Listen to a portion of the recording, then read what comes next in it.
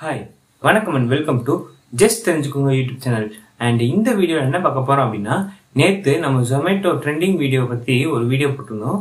So அந்த delivery boy வந்துட்டு அதாவது காமராஜ் அவர்கள் வந்துட்டு ஒரு எக்ஸ்க்ளூசிவ் பேட்டி கொடுத்துருக்காரு தனியார் நியூஸ் சேனலுக்கு ஸோ அந்த நியூஸ் சேனலுக்கு கொடுத்த அந்த பேட்டியை டப்பிங்கில் நான் உங்களுக்காக கொடுத்துருக்கேன். ஸோ இந்த வீடியோ மிஸ் பண்ணாமல் பாருங்கள் தேங்க்யூ இல்லை சார் நான் எந்த ஒரு கெட்ட வார்த்தையும் உபயோகப்படுத்தல.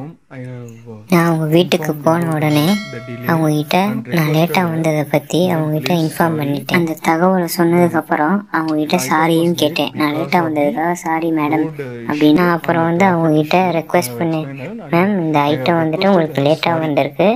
ஸோ எதனால அப்படின்னு பார்த்தீங்கன்னா ரோடு இஷ்யூவாக இருக்குது டிராஃபிக் இஷ்யூவாக இருக்குது அதனால நான் லேட்டாக வந்தேன் அப்படின்னு நான் எக்ஸ்பிளைன் பண்ணுறேன் அந்த மேடம் கிட்ட அதுக்கான சாரியும் நான் கேட்குறேன் அதனால நான் மன்னிப்பு கேட்குற விதமாக அவங்க கிட்ட சாரி கேட்குறேன் நான் மன்னிப்பு கேட்டதுக்கு அப்புறம் அந்த சாப்பாடை அவங்க கையில கொடுக்குறேன்.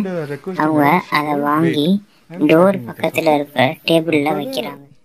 நான் சாரி கேட்டுட்டு இருக்கேன். கேட்டுக்கிட்டு இருக்கும்போது அவங்க ஜொமேட்டோவோட உதவி மையத்துக்கு ஃபோனில் பேசிக்கிட்டு இருக்காங்க. சேட் பண்ணிக்கிட்டு இருக்காங்க. மெசேஜ் பண்ணிக்கிட்டு இருக்கும்போது ஸ்டாப் நீ பேசாத பண்ணு அப்படின்ட்டு அவங்க சொல்கிறாங்க அவங்க கிட்ட சொல்கிறேன் மேம் நீங்கள் இந்த மாதிரி பேசாதீங்க அவங்க கிட்ட பேசுனீங்க அப்படின்னா அந்த கம்ப்ளைண்ட் பண்ணீங்க அப்படின்னா என்னோட வேலையை தான் அது பாதிக்கும் அப்படின்னு நான் சொன்னேன்.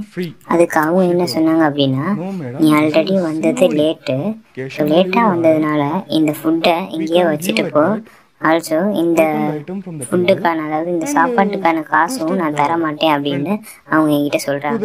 அப்புறம் அவங்க சொல்றாங்க இந்த ஃபுட்டு வந்து எனக்கு ஃப்ரீயா வேணும் அப்படின்ட்டு அவங்க சொல்றாங்க.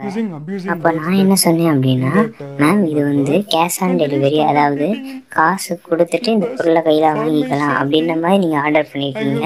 ஸோ கண்டிப்பா நீங்க வந்துட்டு காசை கொடுத்தே ஆகணுங்க அதுக்கப்புறம் நீங்க காசை வேணும் அப்படின்னா ஜொமேட்டோ சப்போர்ட் அந்த உதவி மையத்தை நீங்கள் தொடர்பு கொண்டுட்டு அங்கேருந்து காசை வாங்கிக்கலாம் அப்படின்னு நான் எக்ஸ்பிளைன் பண்ணிக்கிட்டு இருக்கேன். நான் சொன்னேன் இல்லை மேடம் இது வந்து நீங்கள் கேஷ் ஆன் டெலிவரி பண்ணியிருக்கீங்க அதனால இதை அந்த மாதிரி பண்ண முடியாது. ஃப்ரீயாக தர முடியாது அப்படின்னு நான் அப்போ வந்துட்டு நான் அந்த சாப்பாடை எடுத்துட்டு ரெண்டு ஸ்டெப்பு லெஃப்ட் அதாவது இடதுபுறமாக நான் நடக்க ஆரம்பித்தேன் நடக்க ஆரம்பித்தோடனே அவங்க என்னை பார்த்து கெட்ட வார்த்தைகளால் திட்ட ஆரம்பிச்சிட்டாங்க.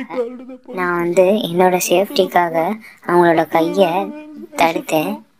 ஸோ அவங்க கையில் போட்டிருந்தாங்க அந்த வளையல் தான் அவங்க மூக்கில் இடித்தது அதனால தான் அவங்க மூக்குல இருந்து ரத்தம் வந்தது. அதனால தான் இந்த காயமும் அவங்க மூக்குல ஏற்பட்டது. நான் அவங்கள குத்தவும் இல்லை. அவங்க என் மேலே ஷூ தூக்கி போட ஆரம்பிச்சிட்டாங்க. வந்து போய் இந்த இடத்த விட்டு போயிடணும் அப்படின்னு சொல்லிட்டு முடிவெடுத்தேன். அதனால அதிர்ச்சியில் இருந்தேன்னா அந்த இடத்த விட்டு வெளியே வந்துட்டேன். எனக்கு இப்போ கண்டிஷனில் பெயில் கொடுத்துருக்காங்க.